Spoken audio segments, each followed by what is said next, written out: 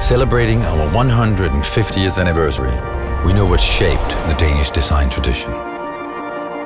But who can tell what will shape the future of design?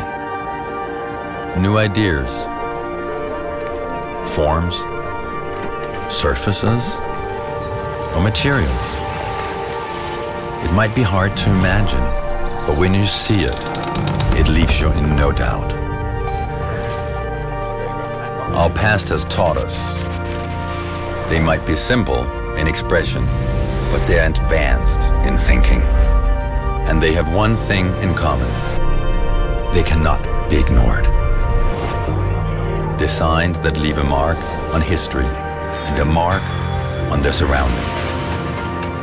And as trends come and go and time passes, no matter where they stand, they stand their test.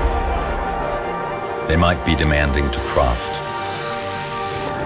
to produce, and to choose. Because they're brought to life out of passion. Some would even say obsession. An obsession to detail, to comfort, to quality. Designs brought to life by visionaries and luminaries brought together by a mutual belief in Nordic simplicity. A belief in beauty and a mindset that continues to bring designs to life. You may call them chairs, tables, lamps, or accessories. Some would call them extraordinary.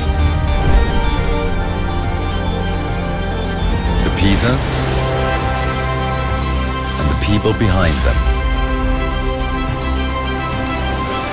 Often copied, never surpassed, and anything but ordinary.